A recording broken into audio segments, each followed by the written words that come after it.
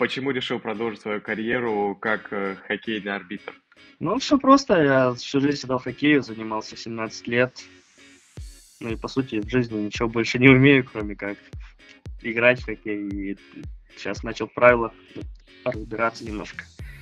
Поэтому решил так. На самом деле я попробовал, мне очень понравилось. Такая интересная работа. Вот просто обычно, знаешь, э, все после карьеры идут тренером, э, каким-то специалистом по катанию, а ты решил стать арбитром. То есть это довольно необычный такой выбор. Ну вот я вот в том году, получается, я сделал операцию в августе месяце и попробовал себя арбитром. Сначала на любителях, потом запустили на детях, попробовал. Ну и потом назначили на 2006 год лайнсменом. Вот мы с другом, с, с бабушкиным, с партнером по хоккею, можно так сказать. Решили, попробовали, понравилось, почему бы и нет. А было такое, что кто-то кого-то подговаривал? Не знаю, никогда ничего не было, просто как-то так совпало. Но нас знают же тут и тренера, и представители судейского корпуса, они позвали на просмотр, предложили как-то. И нам с ними понравилось, втянулись в это все собственно, пришлось, наверное, проходить обучение, все равно доучивать правила, потому что вряд ли все знал прям таки. Вот э, насколько сложно вообще было это обучение и, может быть, продолжаешь до сих пор? Я скажу больше, что с вероятностью 99,9% хоккеисты правил не знают это слова совсем. Даже сейчас вот мы начали судить, все спорят, пытаешься им объяснить, и они, когда только ты им объясняешь, а, ну, до них доходит, что да, они не, не правы. А так я всегда, когда играл, всегда на судей сам кричал, ругался с ними, и теперь я понимаю, что да, я был неправ, что правил очень много, они бывают где-то разные. Грубо говоря, есть, ну, дети, да, до ЮХЛ, ЮХЛ в том числе, это одни правила, МХЛ, КХЛ, ВХЛ, это уже другие правила. Собственно, уже отработал в МХЛ матче. Вот э, что за это время успел еще заметить такого вот именно со стороны арбитра, чего раньше не видел? не обращал внимания, может быть. Я, я первый период вышел, на самом деле мы с партнером, ну, допустили пару ошибок именно в первом периоде, потому что как первый матч в МХЛ, трибуны свои, нас как бы там все знают, все болельщики ходили на нас, и ходят сейчас на нашу молодежку, и когда сказали там, что линейные судьи, Линник и Бабушкин, они там, ну, видно, что, типа, как так, вроде же вот играли недавно. Ну, сначала волнение было, да, мандраж, а потом как-то успокоились, все нормально получилось. А знаешь, обычно в хоккей, когда там на молодежку выходишь или в КХЛ, там 2-3 сменки и вроде полегче, а здесь у тебя такого нет, ты постоянно в игре. В какой момент э, становится легче?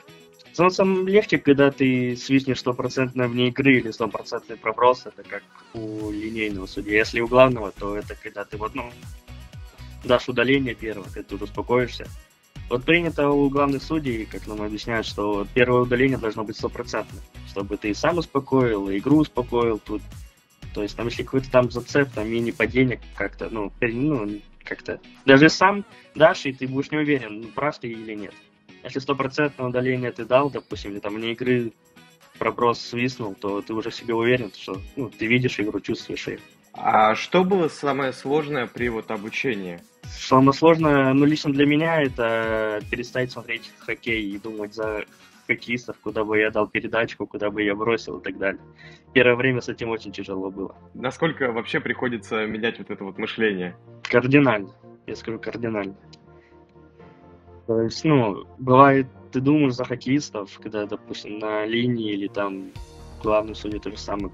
Когда он там дойдет до зоны, допустим, там оставит он ногу, не оставит, как бы ты бы сделал бы в этой ситуации. И, ну, как-то потом уже со временем перестаешь чувств, ну, быть этим хоккеистом и уже начинаешь работать с судьей, смотреть за, за игроками, а не думать об игре там или еще что-то.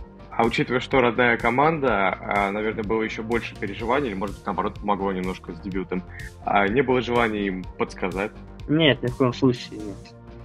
Даже, ну, родная команда, да, но с этой родной команды, там, грубо говоря, я никого не знаю, со мной никто не играл. Там остался один тренер по вратарям, и то как-то он то ли не узнал, то ли забыл, может, как-то даже там мимо лавки проезжал, даже там ничего не говорил, или, не знаю, может, как-то в, в игре сам был.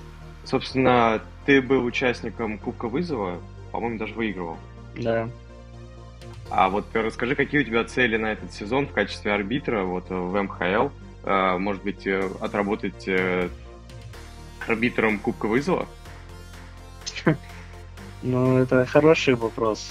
Конечно, наверное, каждый как каждый арбитр, даже как хоккеист, каждый человек в своей какой-то профессии стремится к чему-то большему, пытается доказать, что именно он должен там поехать на Кубок вызова или там на плей-офф ходить или так далее. Ну, это, думаю, это у каждого человека, в каждой профессии такое, что ты постоянно к чему-то стремишься. Лично я хочу, допустим, не линейным судьей, мне главное больше нравится быть. Кому-то наоборот, кому-то линейным больше нравится быть. Мне как-то вот, ну, пробросывание игры не то, что неинтересно, как-то мне удаление более интереснее давать, нежели смотреть там пробросы. Как-то вот судил ЮХЛ главным, и там прям ты весь в игре, и там ты видишь и пробросы, и удаления, и лайнсменам своим подсказываешь, это игрокам тоже подсказываешь. Как-то главное более интереснее, ты прям весь в игре погружен прям там. Давай проясним, а, что нужно сделать Никите Линнику, чтобы стать э, главным арбитром.